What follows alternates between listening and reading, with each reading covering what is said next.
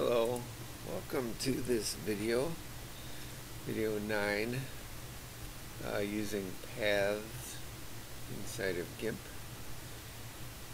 So, in the toolbox you'll find the paths tool. Simply click on that. Um, and in conjunction with the paths tool, you'll want to use the paths dockable dialog which shows various path layers and gives options for working with them. To access this you can right click a tab over here in the dockable dialogs.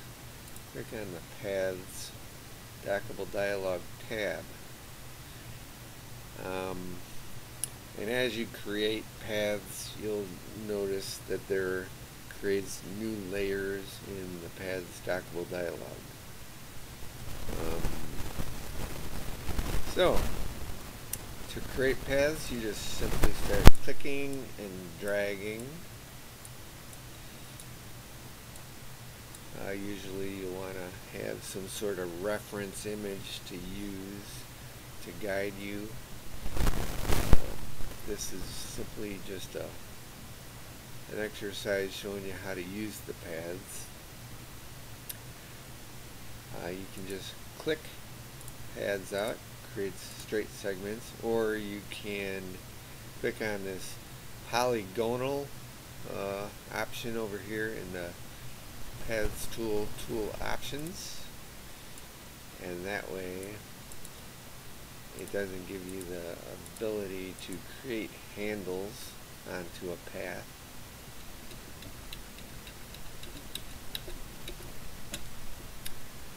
Uh, for now we're just going to turn that off so that we can create handles on our paths.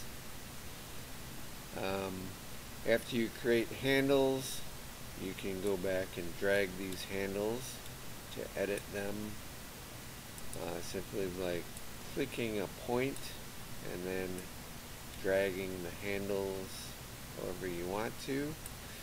Now if you start dragging a handle and hold the shift key, well then it's going to constrain the handles just like it constrained them when you first created the point.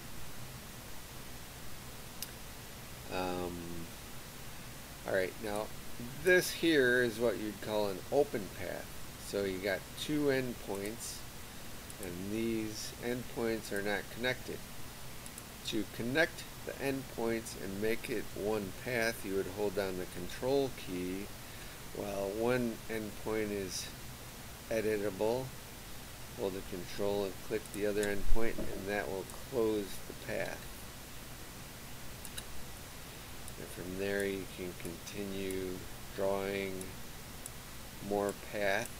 And as you notice in the dockable dialog, it's all considered to be one path.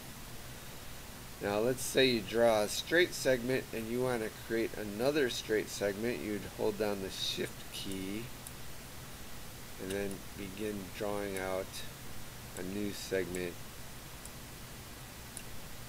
and then if you want to close or connect two endpoints you simply hold the control key and connect to another endpoint anywhere you want that endpoint to be. Control click. Now, as you can see, oh wait, I was going to go over. Alright, once you have some paths and uh, segments and endpoints and handles, you can add points to a segment simply by holding the control key you'll get a little plus sign on your tool and then add points to a path. Uh, likewise, you can delete points by holding control and shift. Not only can you delete points, you can also delete handles, control shift, or segments, control shift delete segments. Very powerful options. Um, now, every time we click, we're just adding to the same path. If you would like to make a completely different path, you have to unselect it. You do that by hitting P. Now you notice that the path is no longer visible. To make it visible, you click the eye icon. It makes it visible again. Now since the handles and segments or the handles and points are not visible, we can use the pen tool to go back in and start creating and as you see it created a new layer which means it's a completely different path. I'm going to hold shift and continue drawing uh, and then of course control to um, join endpoints. So you can create many different uh, paths. Um, I'm not even sure what the limit is, probably hundreds or maybe thousands. Um, and like I said before, to make things visible, you click the eyeball over here. Now, I'm going to click P, create new, a new path. And over here you see that we have three paths in the dockable dialog. If you hold down shift and click on one of the eyeballs, it's going to make all the other paths invisible. Now if you have two paths visible, you can join them together by using the pull down menu, right click path, it gives you a pull down menu with other options. You can duplicate paths, delete paths, or merge paths. So I merged those two paths to create one path. Um, now if I want to duplicate the path, click on duplicate.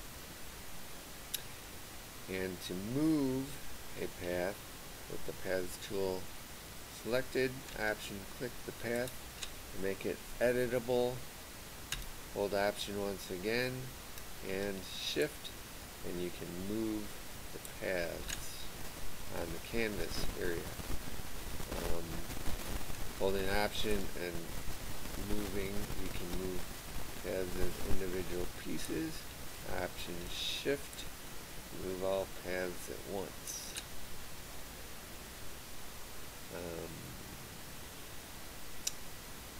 now there's one more thing uh, you can do in with the right click pull down menu on the paths. You can export a path. Uh, it exports paths as SVG. The thing you have to remember here is after you name the path, we'll call it path 1, you have to put dot SVG at the end and then save it anywhere on your hard drive that you want to save it. It's important that you remember you have to type in the .svg for this to work. And that's about it. Uh, using paths inside GIMP, very powerful, um, yet simple to use. Thanks for watching.